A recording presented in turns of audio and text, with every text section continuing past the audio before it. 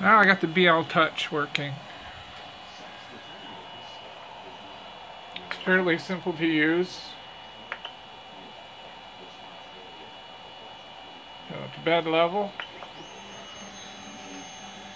And we'll go to the back of the bed and start the calibration process.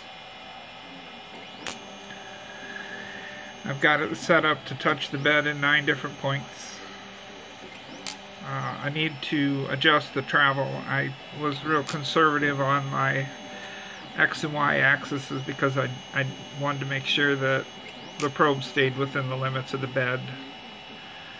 So I've got to go back and uh, change the code a little bit. Right now it thinks it's a 225 by 225 millimeter bed and I need to uh, move it out. I need to measure how far out I can move it. It works pretty cool. This is going to make printing a whole lot nicer.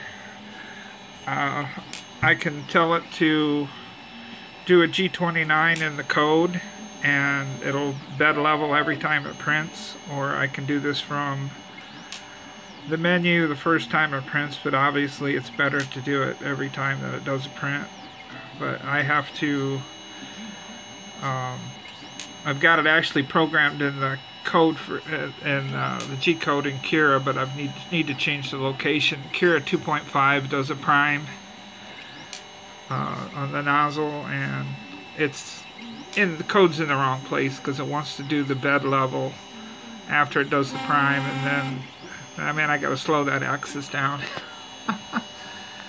Um, anyway uh, it it wants to do the bed level after the prime and uh, leaves stuff everywhere uh, you know on the nozzle because of the boat and wants to weep just a little as it travels. So I need to put the G29 to turn on turn the auto bed level on after the bed and the hot end are up to temp and I've got to find that spot in the in the uh, startup code for Cura but it was a fun project wasn't real difficult in reality that's the mount it's a combination of something I found on Thingiverse and um, my own changes I had to make it work to fit this uh, carriage that I drew up.